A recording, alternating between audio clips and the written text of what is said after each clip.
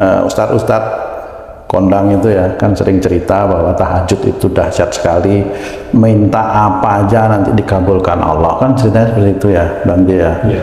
Nah itu saya ingin tahu juga kalau kita sudah pensiun ini kita bisa dapat enggak lagi kedahsyatannya tahajud itu sebenarnya di lagi peluangnya lebih besar oh, ya? kalau waktu kita kerja dulu kan ada kendala ini waktu. masa waktu Wah. pulang malam ketiduran subuh nggak sempet tahajud ah. sekarang kita pensiun kan banyak waktu nih nah, tapi kan kerjaan kita beda-beda ya, saya habis lembur bisa tahajud waktu itu iya kalau sekarang kan banyak tidur nih dari ini hmm. jadi tahajudnya lebih terjaga gitu hmm. lebih dahsyat lagi gitu tuh kalau mau hitung-hitungan waktu ini yang perlu kita tanya nih sama guru kita Pak Ustadz Bagaimana ini Pak Ustadz? Bisa nggak dapat lagi nih kedahsyatan tahajud itu?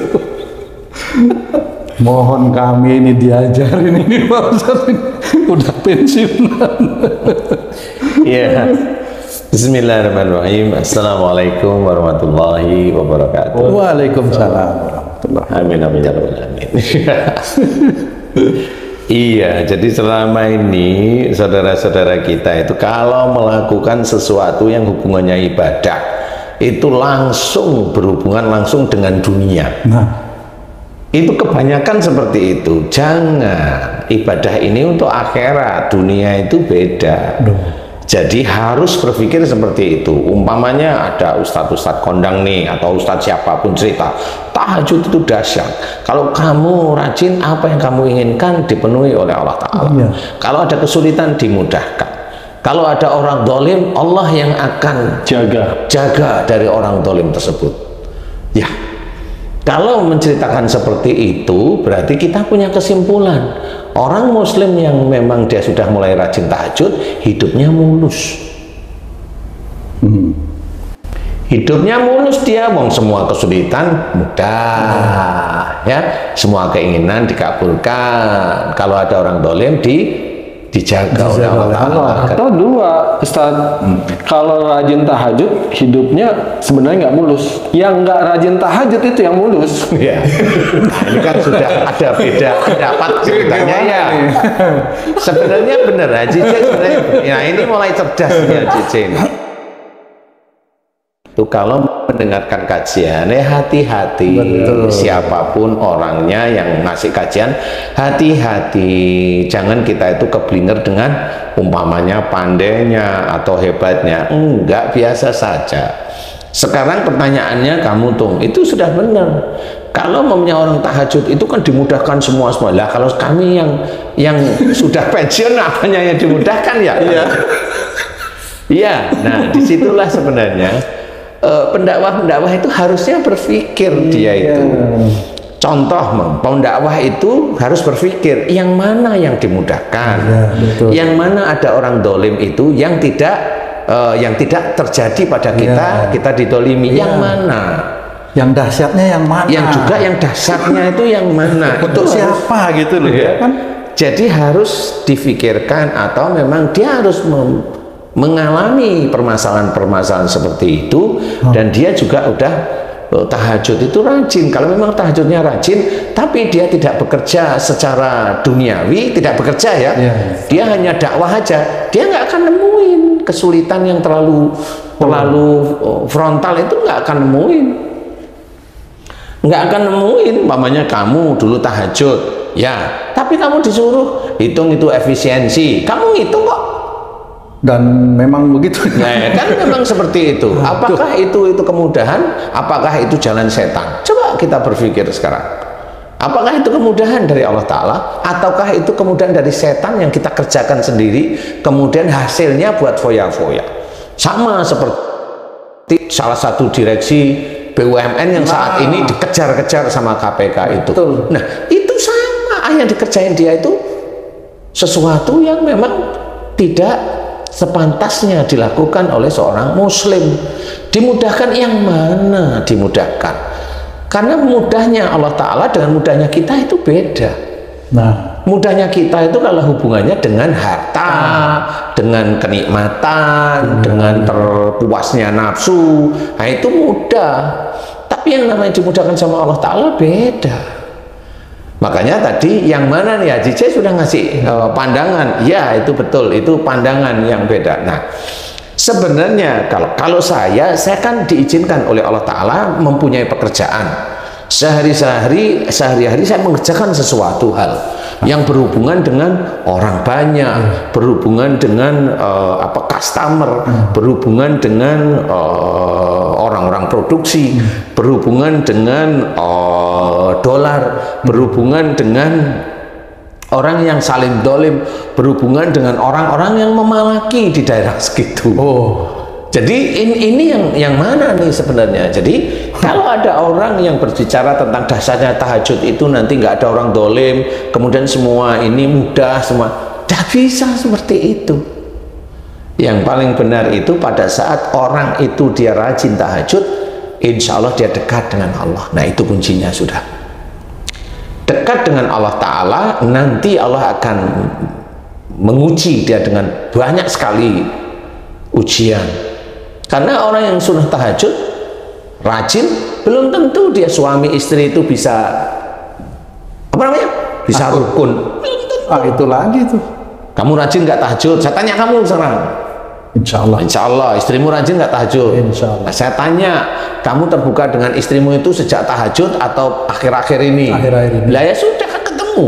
Kenapa bisa jadi begitu? Nah, iya bukan kenapa terjadi begitu. Katanya dilindungi gitu dahsyatnya. Nah, jadi singgung. Di sinilah karena beliau itu uh, menurut saya uh, belum me me memberikan pengetahuan yang terjadi di dunia itu bagaimana. Hmm. Bagaimana yang terjadi? Seorang yang menjalankan tahajud dan dia dekat sama Allah Ta'ala, orang tersebut itu pasti diberi petunjuk. Petunjuknya apa aja? Banyak macam umpamanya dia usaha hmm? padahal orang yang rajin tahajud itu usahanya mudah-mudah aja enggak dia usaha malah ditipu temennya walaupun rajin tahajud. Walaupun rajin tahajud karena Allah itu mau melihat dia rajin tahajud itu karena Allah atau dia rajin tahajud ingin harta dunia. Kuncinya kira-kira itu. Kalau dia rajin tahajud karena Allah Ta'ala pada saat dia berusaha di dunia kemudian ditipu sama orang dia tersenyum. Ini ujian saya dari Allah Ta'ala. Itu langsung diterima dengan ikhlas dengan lapang dada di titik dia itu berusaha mengikhlaskan sehari seminggu sebulan satu tahun dianggap dia sudah mulai berjalan berhasil di hadapan Allah bahwa orang ini cinta kepada Allah bukan cinta kepada dunia. Karena kalau orang di dalam tajudnya dia mencari dunia pada saat belum dikabulkan Allah atau tidak dikabulkan oleh Allah Taala, gerutu dia. Itu wajar atau enggak wajar sebenarnya? Ya kalau kita melihat dari sisi manusia wajar. wajar ya. Tapi kalau kita dari sisi melihat keimanan enggak wajar. Weh. Karena Allah itu selalu menyuruh dan itu menjadi catatan utama kita sebagai seorang muslim. Inna solati wa nusuki wa mahyaya wa mamati lillahi rabbil alamin. Sesungguhnya solatku, solat kita. Ibadahku, ibadah kita. Hidupku, kehidupan kita sehari-hari hingga matiku hanya untuk Allah. Berarti kita itu tidak diperbolehkan kita itu melakukan sesuatu itu dunia sebenarnya hanya Allah. Lah tahajud kok untuknya dunia itu gimana? Sudah ibadah harusnya lillahi ta'ala untuk akhirat. Ini ibadah jadi jatuh martabat tahajudnya gara-gara pingin uang banyak rezeki ngalir tidak henti-henti katanya nah itu salah itu mengajari jamaah itu menjadi salah Walaupun yang ngajari itu pandai lah, dia dititipi oleh Allah Ta'ala kepandaian. Iya, tapi nggak boleh. Tetap ajari, muslim itu adalah akhirat. Apakah dengan akhirat tidak boleh bekerja? Boleh. Nah. Karena Allah menyuruh kita itu berikhtiar. Betul. Ikhtiar kita untuk Allah. Makanya dalam berikhtiar kita itu berusaha untuk tidak dolim. Tidak nyogok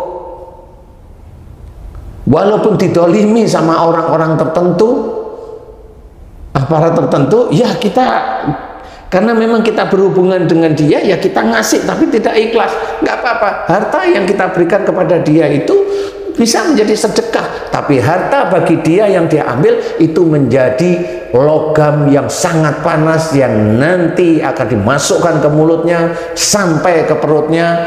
Dan itu kalau dikasih kepada istri dan anak-anaknya istri dan anak-anaknya juga akan merasakan di akhirat.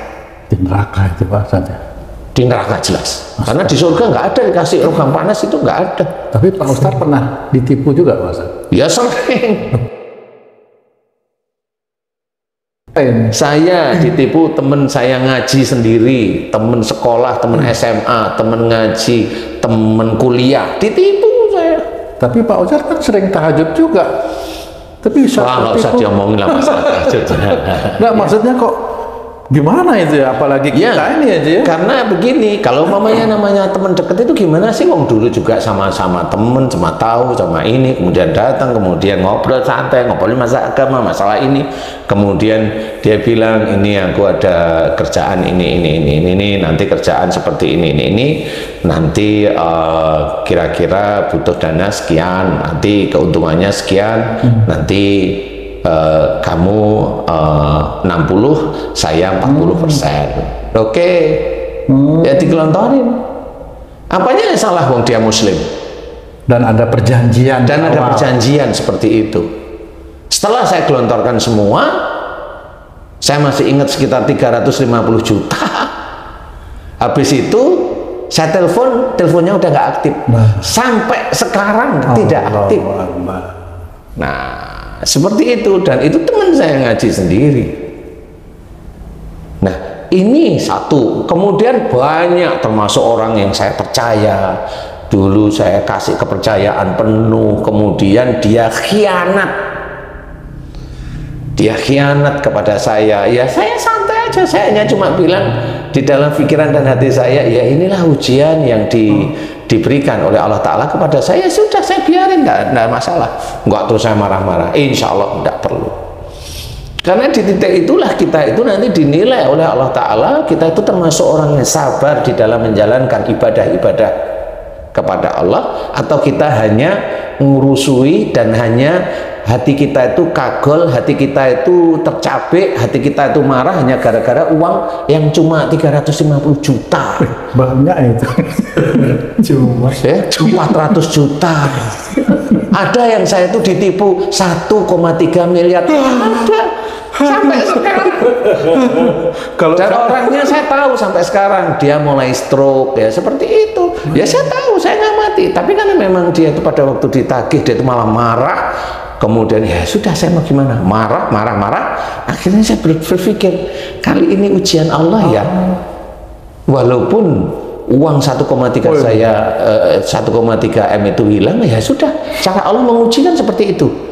Kalau mamanya kita berpikir bahwa mana mana istilahnya kalau orang protes yeah. mana ya Allah uh, anumu uh, apa namanya janjimu, janjimu ya. kan nggak boleh Orang Islam yang seperti itu tidak boleh. Nah, inilah sebenarnya kenapa seperti itu karena saya mengalami sehari-hari itu ada seperti itu. Tetapi memang setelah itu baru Allah itu mengangkat semuanya. Jadi betul-betul tanpa sesuatu hal yang memang dikira sulit pun Allah memberikan rezeki itu mudah alhamdulillah. alhamdulillah. Dan memang itu semuanya mau ditipu kek, mau dapat rezeki kek, disyukuri semua itu adalah ujian dari Allah Ta'ala yang harus kita hadapi. Jadi bukan berarti yang diberi kemudahan sama Allah Ta'ala itu terus mudah semuanya. Suami istri nggak pernah berantem, anak dan orang tua nggak pernah berantem, anaknya lulus terus sekolah. Hmm. Kalau dia minta pintar, anaknya pintar. Dia minta kaya, kaya semua. Orang Islam itu kalau dicekoi dengan kata-kata seperti itu, Ya nanti bodoh semua. Kalaupun terjadi pintar semua, kalaupun terjadi kaya semua hmm. orang Islam itu. Gak bisa. Allah itu mempertimbangkan banyak. Di mana orang yang dia itu sering sunat tahajud itu amanah enggak kalau dia diberi sesuatu oleh Allah Ta'ala itu diperhitungkan oleh Allah Ta'ala jadi bukan sekedar dia sholat sunat tahajud dia tahajudnya rajin. Kalau dia hanya mencari pahala dia nggak akan dapat karena dia seperti orang anak kecil yang ingin permen aja dia. Suatu ketika dikasih ujian agak berat sedikit nangis. Nah. permennya nggak dikasih nangis dia.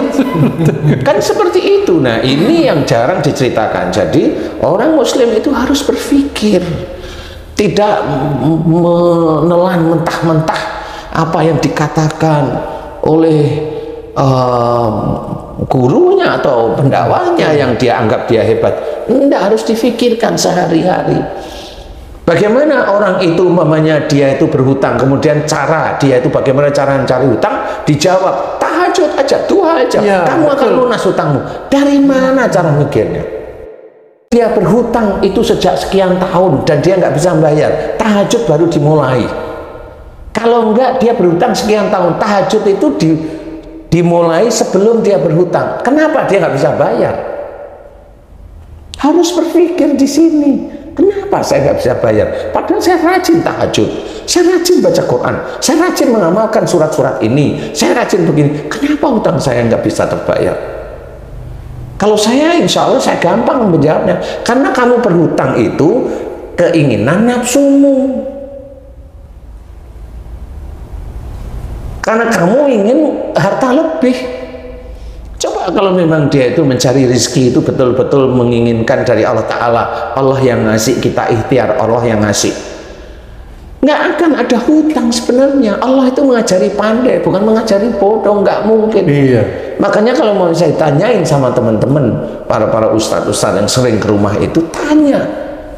Ustadz kok bisa seperti ini? Usahanya apa? Ya saya menjawab. Usaha saya ada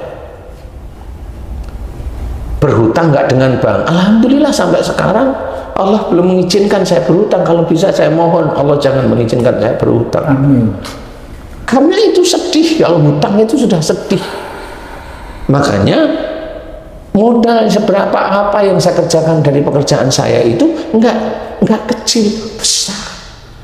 Saya dikejar bank hanya untuk diminta hutang. Saya nggak mau.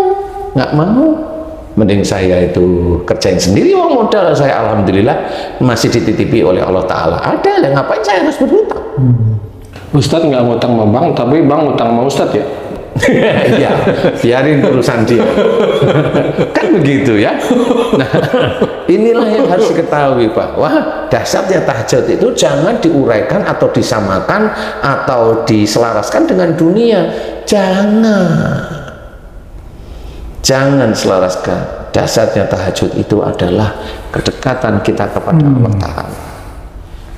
Makanya Allah itu salah satunya dalam surat Az-Zariyat menceritakan nih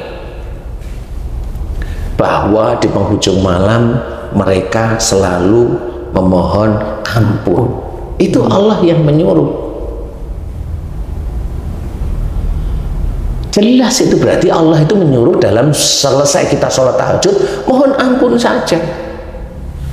Kalaupun mau ditambahi bersyukur sudah. Dua hal itu itu selalu berkaitan.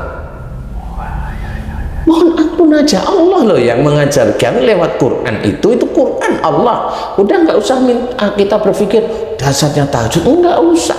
Mohon ampun aja. Bersyukur aja. Terus lantunkan kepada Allah Ta'ala tanpa henti sambil menunggu oh, azan subuh.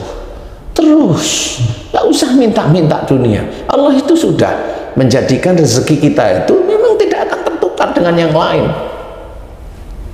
Walaupun kita disamai oleh orang lain enggak, enggak akan tertukar. Rezeki saya diizinkan oleh Allah Ta'ala maunya dakwah dan bekerja. Nggak bisa saya mau nyaingin Pak Jokowi jadi presiden. Nggak bisa, nggak mampu saya Nah ini yang harus kita ketahui. Tahajud adalah kedekatan kita pada Allah Ta'ala. Sudah tidak usah menceritakan sesuatu hal yang bagaimana yang hebat. Sehingga orang muslim dia itu melakukan tahajud hanya kepingin dunianya senang. Betul. Yeah. Rata-rata seperti itu siapa pun rata-rata seperti itu jarang mengajarkan bertahajud kemudian mohon ampun ya ada satu dua tiga yang lainnya jutaan itu malah minta lah di situ. Kemudian harapan-harapan kami itu ke mana kami harus menggantungkan itu? Makanya kalau kamu itu tahajud sudah pensiun, lah kamu mau apa yang kamu cari? Pekerjaan? Tidak ada, ya kan? Haji J pekerjaan belum kan malah pekerjaan Haji C ngantar ke tamcit nah itu pekerjaan tambahan itu, itu. Alhamdulillah kita udah kenal Pak Ustadz udah sebelum pensiun ya. Jadi hubungannya gimana itu jadi maksud saya gini jadi udah di jalur insya Allah yang benar nih dalam bertahajud mohon ampun. Hmm. jadi walaupun udah pensiun tetap mohon ampun lebih banyak lagi waktunya. Iya. Hmm. Iya, iya. karena dunia itu kan waktu kerja itu kan wah kalau mau dunia kan waktu kerja itu. Kalau udah pensiun kerja apa lagi? Jadi kedekatannya itu kita intensifin iya tapi kan harapan-harapan itu harapan ya selalu lah dipermudah sama Allah udah Jadi yang kita ingat kalau kita tahajud cukup. Wabil asharihum yastaghfirun. Jadi di sini kalimat Allah menjelaskan bahwa kalau kita selesai tunaikan tahajud banyak-banyaklah mohon ampun kepada Allah taala. Itu namanya akhirat. Kerjakan terus-menerus akhirat. Terus-menerus. Bagaimana Allah itu nanti akan meng- meng- mengajak kehidupan kita ke mana? Kalau memang kita itu dekat kepada Allah Ta'ala ikhtiar ya dikerjain ikhtiar dengan lapang dada dengan happy mamanya ya. Kemudian semua ibadah kita kerjakan karena Allah. Karena Allah. Nanti Allah yang mengatur semuanya Allah yang mengatur entah rezeki, entah apa pun, keluarga yang dulunya enggak is- harmonis, mulai nanti harmonis. Nah, di situlah mulai nanti Allah menata. Nggak usah minta yang aneh-aneh. ada jalan-jalan yang diberikan seperti itu Pak Ustadz Iya, walaupun kita kadang-kadang tidak tahu. Nah, di titik petunjuk Allah Ta'ala sehingga keluarga kita harmonis. Itu kan disyukuri, apalagi. Kemudian umpamanya kamu, Alhamdulillah, Alhamdulillah ini saya enggak, Alhamdulillah. Alhamdulillah, kamu bisa beli CLS mamanya. Amin. Nah, ya, itu kan. Weh, Ya, ini banyak-banyak tahajud atau enggak? maaf, maaf ini Pak Ustadz. Aduh, itu ini kan yang kamu impi-impikan tapi ya dengan syarat, ada Syarat? syaratnya Apa itu? jangan dari tahajud jangan kamu inginkan dari tahajudmu usaha Pak Ustadz ya. ya kalau rumahmu kejual aja Amin. Ustadz kalau tahajud lillahi ta'ala terus berdoa lillahi ta'ala tapi di hati ada Nah, itu kan harapan. pengen itu harapan boleh itu harus hati? enggak boleh di hati tapi jangan diucap. Boleh di hati. Karena manusia itu tetap ada harapan tapi jangan dilontarkan kepada Allah. Kalau tahu apa yang di hati. Iya, Allah itu tahu apa yang di hati itu itu sebenarnya. Tapi jangan dilontarkan. Yang kita kerjakan itu adalah akhirat. Akhirat sehingga kelihatan akhiratnya itu menonjol kuat, harapannya yang tipis. Dan Allah tahu yang kita kerjakan. Yang di hati tahu apalagi yang kita kerjakan sehari-hari kan gitu intinya. Betul, betul. Nah itu, jadi jangan menipu Allah. Kelihatan kita itu kita kerjakan besar, tapi harapannya melebihi dari apa yang kita kerjakan. Saking dahsyatnya tadi itu. Ya janganlah memberikan memberikan orang-orang itu suatu kenikmatan yang sebenarnya dia belum pernah me- belum pernah me- apa namanya mengalami, Mengaplikasikan. mengaplikasikan. Nah ini mudah-mudahan bagi saudara-saudara kita yang tahajudnya alhamdulillah sudah sudah rajin, Tuhannya juga rajin, cukup niatkan lillahi taala. Kalau mau berdoa di tahajud, ingat ayat Quran ini. Wabil asarihum yastaghfirun. Ingat di situ jelas Allah yang memberikan tuntunan. Dan di penghujung malam yaitu kita itu bangun untuk sholat sunnah tahajud atau qiyamul lail mereka selalu memohon ampun. Kerjakan itu. Masya Allah. lillahi ta'ala kerjakan. Udah nggak usah punya pikiran macam-macam. Kerjakan karena Allah. Biarkan Allah nanti yang ngatur bagaimana. Dan yakin bahwa yang kita kerjakan itu adalah tuntunan dari Allah Ta'ala bukan hanya orang yang ingin nyenangin hati kita ya tahajudlah kamu biar utangmu lunas enggak ada utang lunas itu bayar baru lunas Bukan gara-gara tahajud. bukan Masya Allah. Masalah lunas itu macam-macam nanti lunasnya. Bisa aja itu lunasnya karena isi jerot. Banyak yang seperti itu. Kelihatan orang itu jilbabannya panjang. Ini saya kenal orang itu. Tetapi dia hobinya nipu, hobinya nyuri. Saya ngerti, tapi ini nggak perlu kita bahas. Eh orang muslim, iya. Saya tahu, saya ngamat-ngamati. Nah jangan seperti itu. Itu jelek sekali di hadapan manusia. Nauzubillahi min zalik. Nah, kita belajar tidak, belajar. Ayo kita kerjakan akhirat. Semuanya lillahi ta'ala. mudah-mudahan ini bisa menjadi manfaat nantinya Amin. Amin. kerjakan tahajud kerjakan sholat uh, uh, qobliyah ba'diyah dan semuanya kerjakan di ta'ala Amin. wallahu a'lam Terima kasih banyak Pak Ustadz, Masya Allah Ji. Ternyata itu dahsyatnya itu kalau kita lakukan semua niatnya dengan lillahi ta'ala. Oke? Sahabat beriman dan para pemirsa di pun berada, demikian tadi kajian kita kali ini, Masya Allah, dahsyat sekali. Mudah-mudahan ini bisa menguatkan lagi keimanan kita kepada Allah Subhanahu wa Ta'ala. Terima kasih atas perhatiannya. Wassalamualaikum warahmatullahi wabarakatuh. Waalaikumsalam warahmatullahi wabarakatuh.